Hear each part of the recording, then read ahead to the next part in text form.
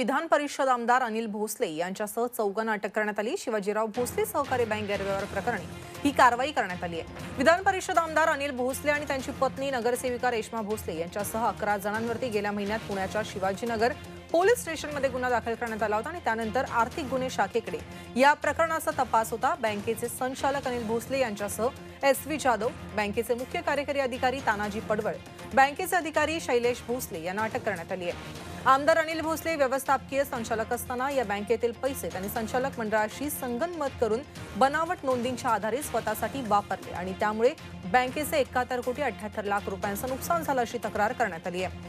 बँकेत जमा झालेले ठेवीदारांचे पैसे खोट्या नोंदी करून परस्पर वापरल्याचं रिझर्व्ह बँकेच्या लेखा परीक्षणासमोर आलं. शिवाजीराव भोसले सहकारी बँकेचे संचालक मंडळ यापूर्वीच बरखास्त करण्यात आलं असून बँकेवरती प्रशासकाची नियुक्ती करण्यात आली. बँकेवरती सध्या आर्थिक निर्बंध आहेत आणि खातेदारांचे अनेक पैसे आता अडकलेत. या बँकेत हजारो ठेवीदारांचे जवळपास तीनशे कोटी रुपये अडकलेत.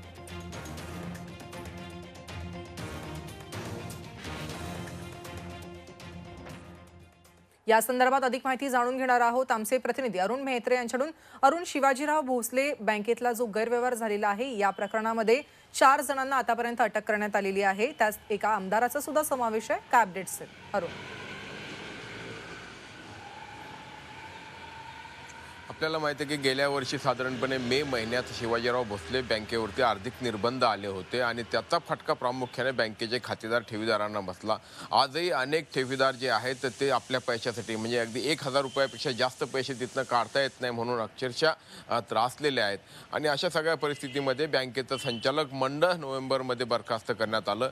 त्यानंतर गेल्याच महिन्यात बँकेच्या संचालकांवरती म्हणजे तत्कालीन संचालकांवरती गुन्हे दाखल करण्यात आले आणि आज त्याची पुढची पायरी म्हणून आर्थिक गुन्हे शाखेनं या चौघांना अटक केलेली आहे ज्यामध्ये विधान परिषदेचे आमदार अनिल भोसले हे हे देखील आहेत.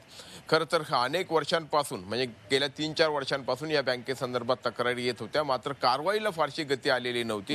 दरम्यानच्या काळात अनिल भोसले हे राष्ट्रवादी काँग्रेसचे विधान परिषदेचे आमदार असले तरी त्यांची जवळीक ही भाजपाशी झाली होती. त्यांच्या पत्नी ह्या पुणे महापालिकेत भाजपाच्या नगरसेविका आहे आणि त्यामुळे कुठेतरी पाणी मुरते की काय काही गौड बंगाल आहे की काय अशी शंका देखील उपस्थित होती. आता मात्र सत्तांतर झालंय आणि अनेक गोष्टींना गती आल्याचं आपल्याला इथे म्हणावं लागेल. आणि आज अखेर म्हणजे काल रात्री उशिरा अनिल भोसले आणि त्यांच्यासोबत आणखी तिघांना अशा चौघांना अटक करण्यात आलेली आहे. आज पुण्यातल्या शिवाजीनगर न्यायालयामध्ये साधारणपणे दुपारी त्यांना हजर केलं जाईल आणि त्यानंतर मग पुढची कारवाई न्यायालयाच्या निर्देशानुसार किंवा आदेशानुसार. नक्कीच अरुण अ, या सगळ्या प्रकरणामध्ये नेमकं आता काय गौड बंगाल आहे हे पोलीस सुद्धा शोधून काढतीलच. धन्यवाद तुम्ही दिलेल्या सविस्तर माहितीसाठी.